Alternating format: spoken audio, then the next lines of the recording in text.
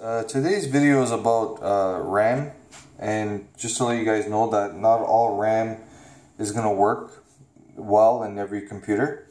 Uh, so right now this RAM here made by XPG Spectrix D45G 32 gig sticks at 3600 megahertz.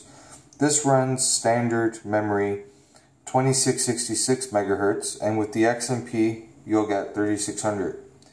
I'm running this on um, a 9913 gen uh, Z790 uh, with the DDR4 so I'm just going to show you um, the system information. Just give me a moment. So I'm just going to show you the system information of um, the board. So this memory here works well on the Z790 Tomahawk Wi-Fi DDR4 as you can see DDR4 3600 okay.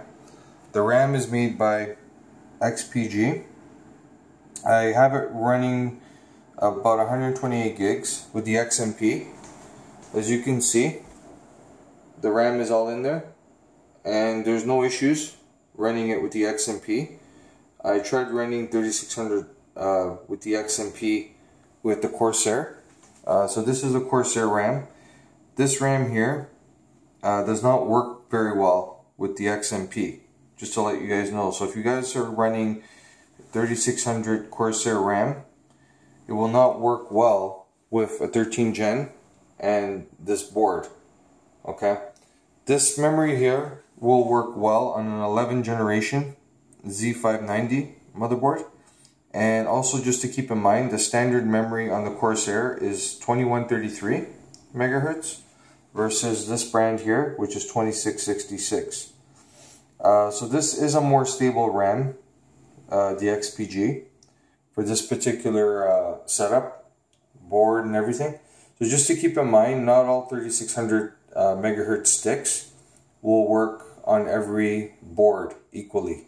Every You're going to have to test it, guys. It's trial and error. Uh, but this is a good RAM for my setup.